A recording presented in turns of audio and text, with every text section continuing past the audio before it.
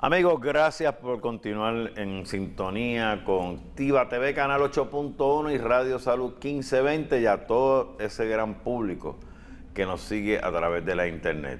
Yo soy Jorge Incerni y estamos aquí en, hay que decirlo al amanecer, discutiendo distintos temas que afectan nuestra calidad de vida, estilo de vida de una manera positiva. Nosotros no venimos a criticar por criticar, queremos orientar y ofrecer alternativas. La decisión es de ustedes, nosotros no se la vamos a imponer.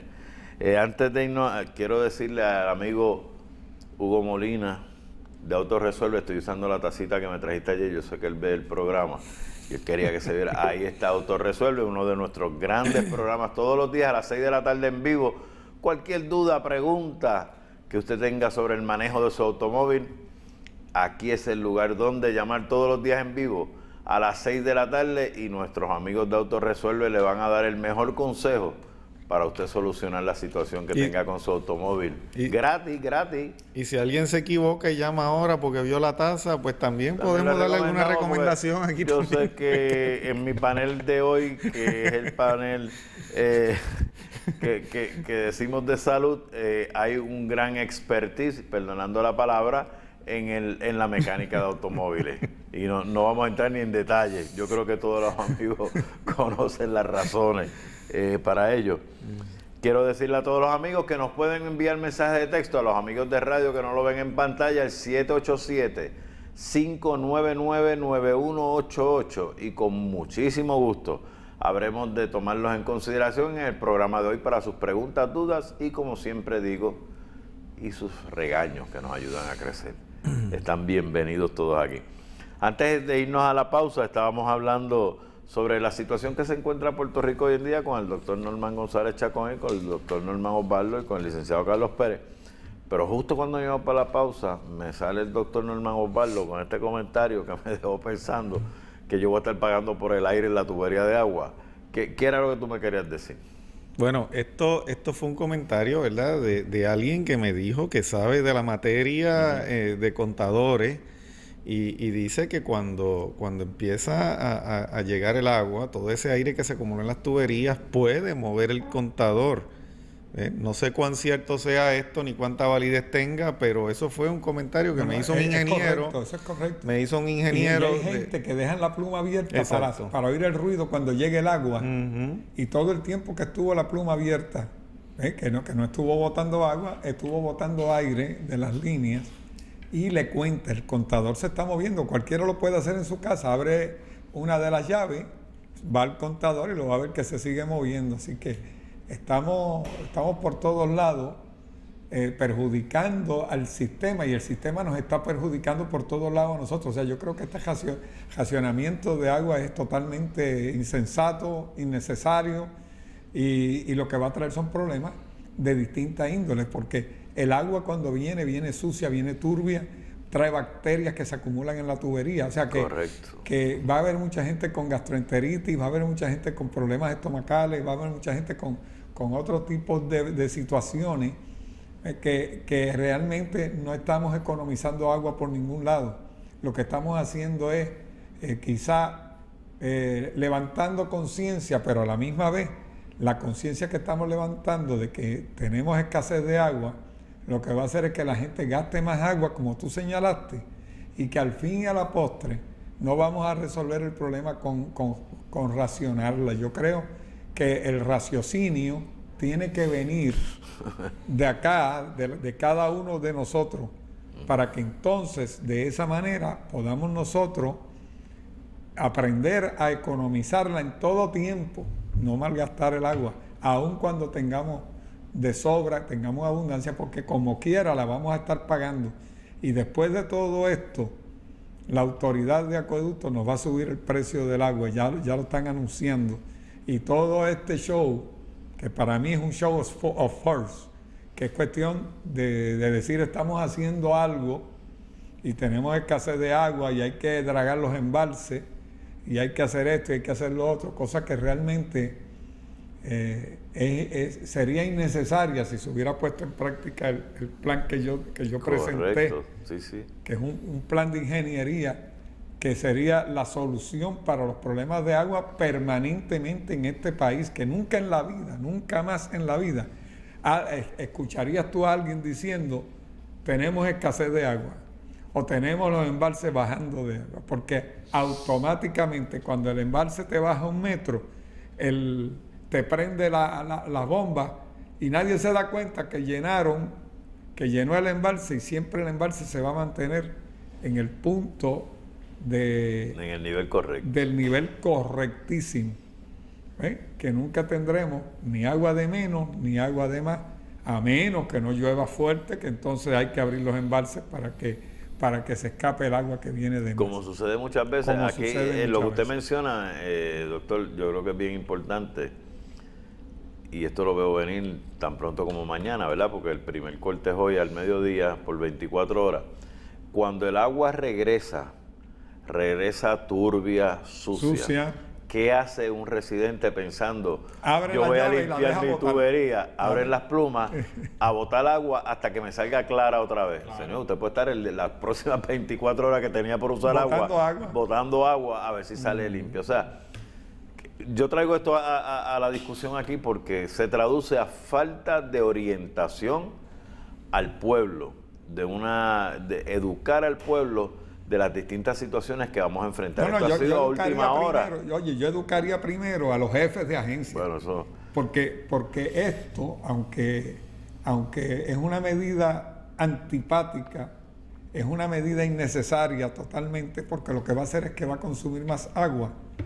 Es, es responsabilidad del director de, de acueducto y, y, está tomando medidas que ningún, ah, ningún ningún ingeniero que conozca y que mida todos estos resultados las tomaría. O sea que yo entiendo que, que por todos lados aquí se están, se están cometiendo tantos y tantos errores. Improvisación, doctor. Una improvisación excesiva de cosas que realmente lo que dan la impresión es de que nadie en el gobierno sabe, sabe nada de lo que está haciendo. Esa es la impresión que me da a mí que el de obras públicas no sabe nada, que el otro no sabe nada. yo como, como ser humano que pienso, que veo, que observo, que, tengo una experiencia de 75 años en este país, que, he viajado y que he visto y que he vivido en otras partes donde realmente he, podido hacer comparación de cómo funcionan las cosas, yo te diría que aquí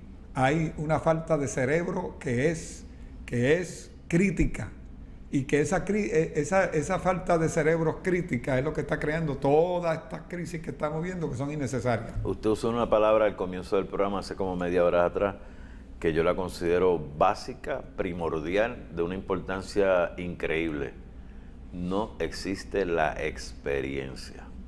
Ah, y estamos eh, destinados a fracasar cuando eh, nombramos y ponemos personas en situaciones o en posiciones, y vamos a usar el gobierno de ejemplo, por, por allegado, por partido político, por amigo, por familia, por, la razón que sea, y obviamos el principio de experiencia. Eh, y esto no lo voy a decir porque yo las tengo, pero nada sustituye las canas. Nada sustituye las canas. Y aquí hemos entrado en una generación, esta y las administraciones anteriores, que traen a estas personas jóvenes sin experiencia, pero con unos títulos tremendos de tremendas universidades a dirigir algo que nunca en su vida lo han visto. Eh, mira, no lo han hecho ni en su propia casa. Dígame, doctor. Hay una historia, hay una historia de un padre que salió con el hijo a vender un caballo al mercado. Y entonces, tú sabes esa historia, ¿verdad? Bueno, yo sé la del caballo de un hijo, pero vamos a ver si es, ah, pues, es el mismo caballo y el mismo hijo. el mismo. pues ellos salieron y iban con el caballo los dos y pasaron por el frente así de, una tiendita donde había gente y dijeron, mira qué dos zánganos esos que están ahí, que van, van con ese caballo, tan, un caballo tan fuerte y tan lindo como ese, y ellos caminando a pie con el caballo. ¿eh?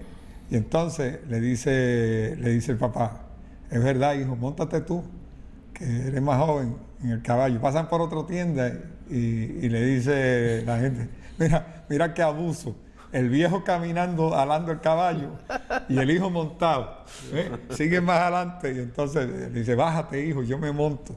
Y entonces pasan por otra tienda y allá la misma cosa, otra crítica.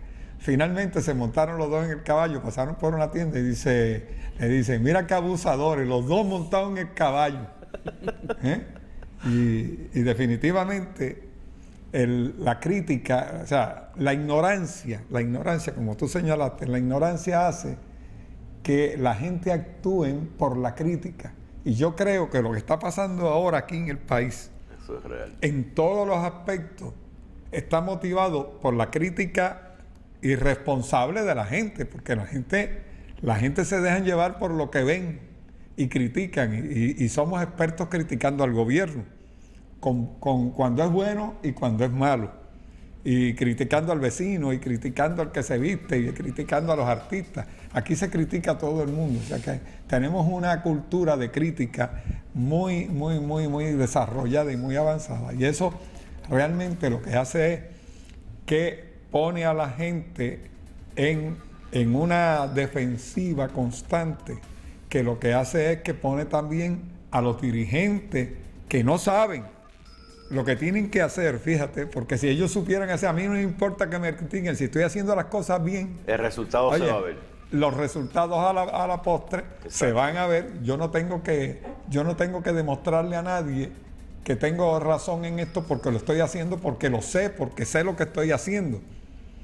¿Eh? Y entonces yo digo, pues yo actúo de esta manera porque yo sé lo que estoy haciendo. Pero, pero ahí tú ves que los dirigentes gubernamentales no saben lo que están haciendo porque entonces se dejan llevar por la crítica y actúan de acuerdo a lo que le critican. A la presión. ¿eh? A la presión que reciben de, abajo. Y eso es lo que hace que se cometan tantos y tantos errores y que se llegue a esos niveles donde se montan los dos en el caballo, se bajan los dos del caballo, se baja uno, se sube el otro y finalmente, ¿sabe lo que pasó? que cuando, cuando eh, llegaron a un lugar donde ellos los dos cogieron el caballo y se trataron de echárselo al hombro. Iba a decirle eso. Tratando de echarse el caballo al hombro, el caballo se fue por el barranco y se les mató y no llegaron al mercado con no él. lo pudieron vender. ¿Eh? Yo, yo pensaba eso, esto va a terminar con ellos dos cargando el caballo. Eh, amigos, eh, regresaremos con ustedes en breve después de esta pausa y queremos escuchar las expresiones del licenciado Carlos Pérez, un licenciado, a ver qué, vuelta le da a esta... Ese caballo es Puerto Rico. Ay, bendito, eso es triste, me tengo que reír, doctor, pero es, muy cierto y provoca vergüenza en uno, vergüenza ajena, como dicen. Amigos, regresamos con ustedes en breve.